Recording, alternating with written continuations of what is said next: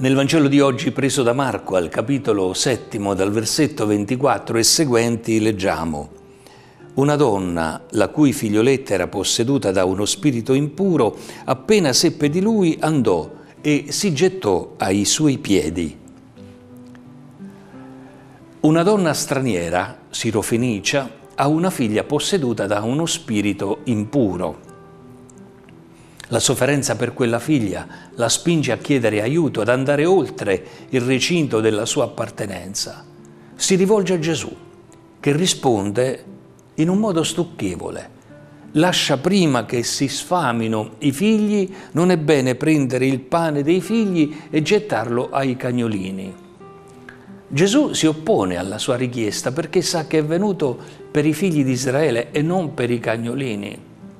Questo infatti era il nome con cui venivano chiamati gli stranieri. A questa risposta la donna non si arrabbia, non se ne va afflitta subendo passivamente l'umiliazione, ma replica dicendo, sì signore, ma anche i cagnolini sotto la tavola eh, mangiano delle briciole dei figli.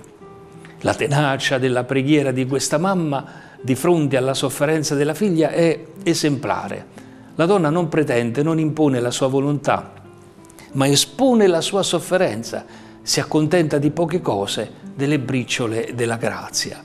Allora Gesù le dice, per questa tua parola va, il demonio è uscita da tua figlia e in quell'istante la bambina coricata sul letto si vede abbandonata dal demonio. Con la guarigione della figlia della donna sirofenice Gesù comincia ad allargare il suo ministero. Non è solo Israele che deve salvare, ma l'umanità intera. La donna, seppur straniera, si sente veramente figlia di Dio, esprime la sua fiducia in Dio e in tutto ciò che Lui può compiere. Per il Signore Gesù noi non siamo briciole, ma contiamo sempre. Lui è venuto per tutti a portare guarigione e salvezza. A tutti auguro una serena e buona giornata nella pace del Signore.